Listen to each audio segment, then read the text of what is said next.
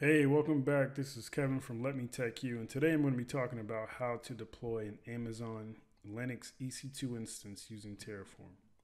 Now, with this, you've probably maybe already used Terraform, or you know you're just looking for a quick way to you know get an instance created and you know pushed to the cloud.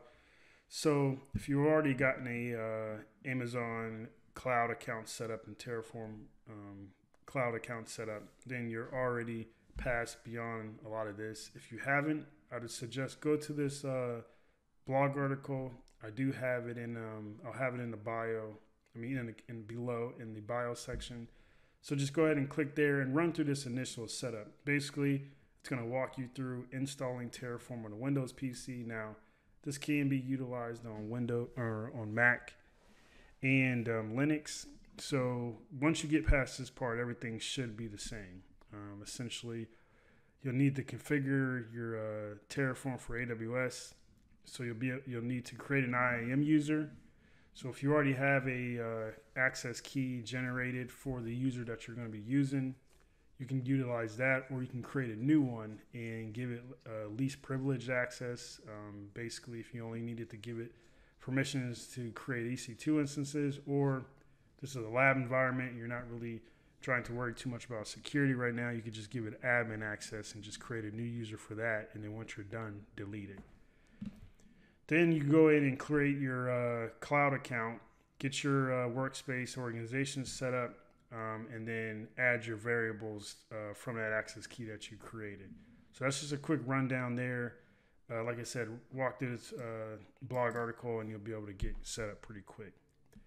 Now to the uh, kind of easy part here. Basically, this is just going to deploy a simple AWS Linux um, in the default EC2 instance. Uh, the default VPC um, that's generated when you first sign up for uh, AWS. So once you come in, we're basically going to set our Terraform configuration setup.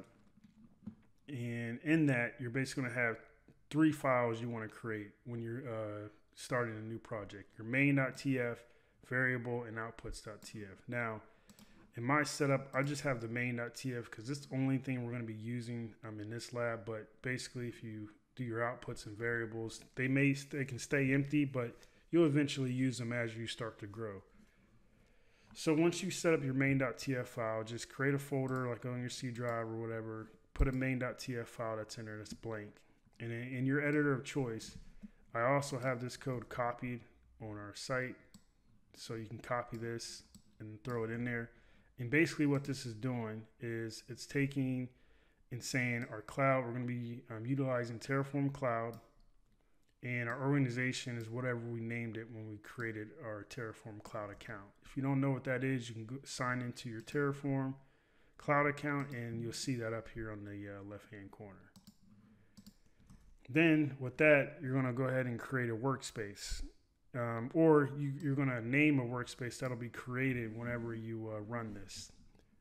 We got our providers that's being set, and then the provider that's being utilized, and then we're setting a region to US East 1. Now, this region can be whatever region you want to particularly use. I'm using US East 1 because that's what I'm closest to. Now, to our EC2 instance. So, now once you get to the instance part, you'll basically want to use the resource block and then create what's called an AWS underscore instance. Now you're probably wondering maybe if you're not used to Terraform, how did I figure this out? Well, if you go into Terraform, the registry, you can click on AWS or search for AWS and then go to documentation. So this is one their official um, provider. And then you can go type in say EC2 instance. And you'll see here we have resources, AWS underscore instance.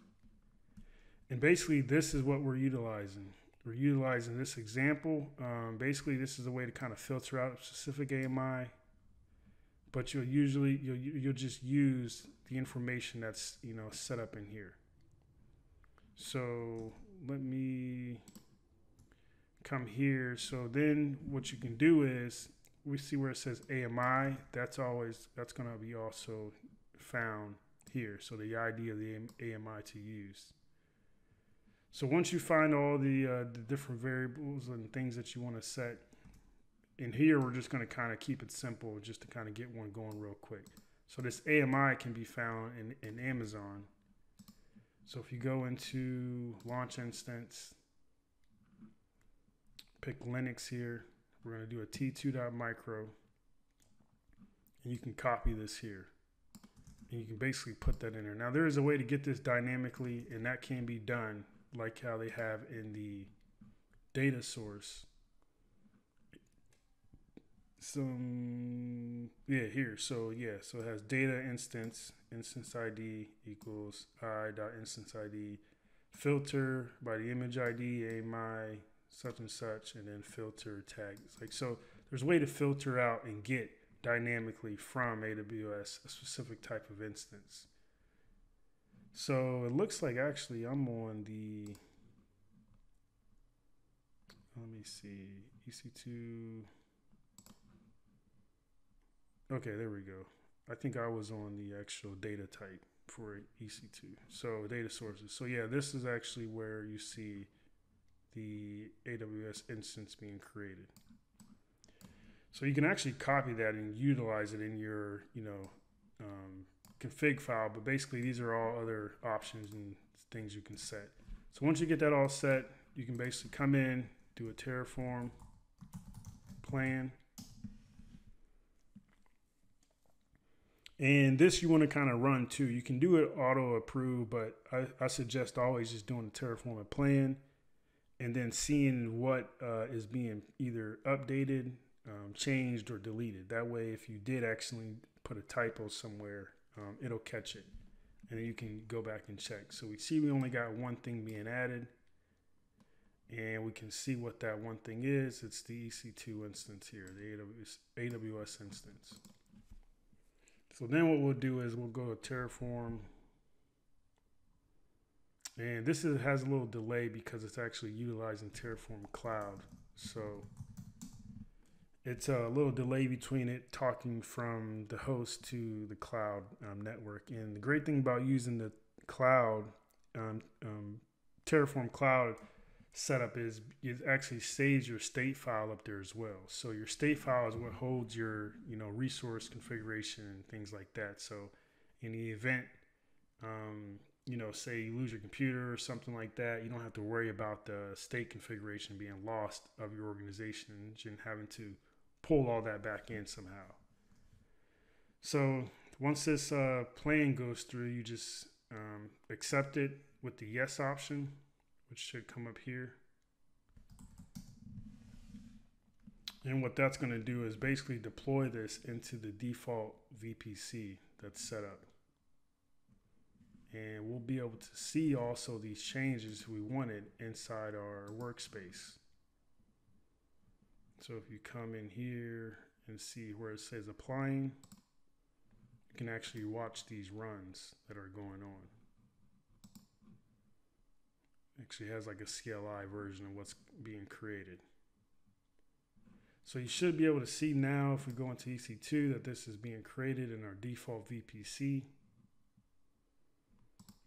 It's not running yet, but uh, well now it's running, but it's initializing. So that's that there. Um, basically, if we want, once we're done, we don't need it anymore, you can run a Terraform destroy. And like I said, this is also will be utilized and show shown up here as well. Now, this is where I was talking about the state files being configured and saved. Basically shows all your configuration.